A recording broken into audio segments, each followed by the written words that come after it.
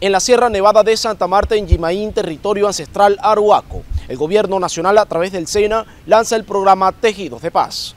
Y uno de los problemas de Colombia, que es la nueva desigualdad social, una más, que ya no es sobre la tierra, que ya hay una desigualdad social sobre la tierra. Si no miremos de aquí en este plan hacia el sur, cuántos propietarios de esa tierra tan fértil, plana y chévere y bonita hay. ¿Cuánta gente ha muerto incluso? La han matado por quedarse con esa tierra. Pero ahora hay otra tierra. Una tierra que se inventó el hombre, el ser humano, la mujer, que va entre estos cables. Por ahí va una cosa que se llama fibra óptica. Esa fibra óptica comunica, transporta más rápido que cualquier medio de transporte del ser humano. Ni el tren más rápido, ni el avión más rápido tiene la velocidad que una información puede pasar por ese cable. Y por eso es que la red puede comunicarnos por el mundo. Y en ese grosor tan pequeño puede ir millones de toneladas de información. La información no pesa, por eso puede caber ahí. Pero por millones, millones de cartas escritas por la humanidad podrían pasar por un segundo en un cable de esos. Y entonces quien tenga la red es como tener la tierra. Y quien no tenga la red es como no tenerla la tierra que vamos a llamar digital, le dicen. Un nuevo espacio en donde se puede trabajar precisamente a través de esos cacharros que han regalado, que puede informar, que puede comunicar, que puede enseñar, del que se puede aprender, una comunidad que puede dialogar incluso en su idioma con todas las comunidades del mundo, no solo de Colombia.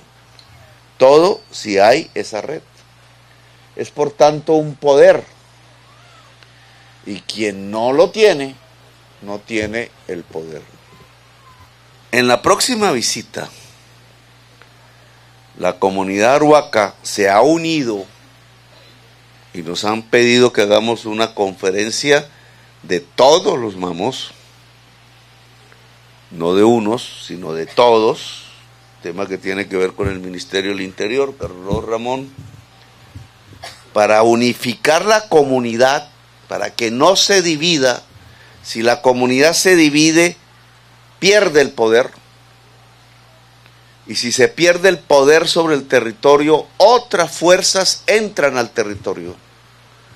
Otras fuerzas culturales, religiosas, otras fuerzas económicas, otras fuerzas armadas que pueden pues lanzarnos hacia la masacre.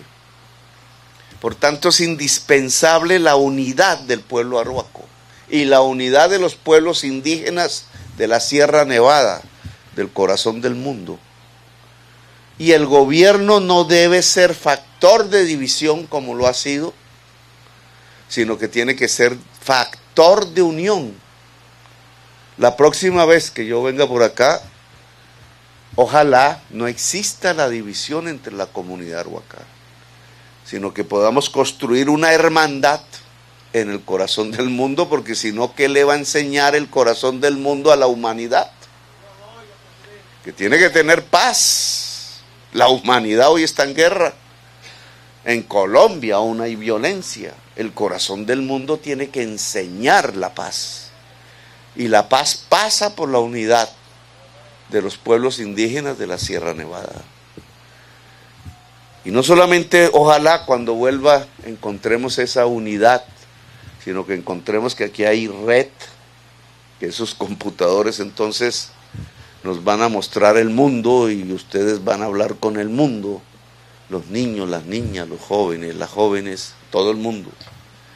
Y que va a empezar a montarse la comunidad energética Terra para producir energía limpia y que vamos a ampliar las posibilidades de la lengua y de la cultura en estos espacios y que vamos a ver los campos con la palma amarga para construir las habitaciones y que vamos a ver cómo el pueblo aruaco y los pueblos indígenas de Colombia le enseñan a Colombia una forma de usar la hoja de coca diferente, no la que ha construido una sociedad para matarse entre sí, sino la que ha construido una sociedad para dialogar entre sí y dialogar con la naturaleza.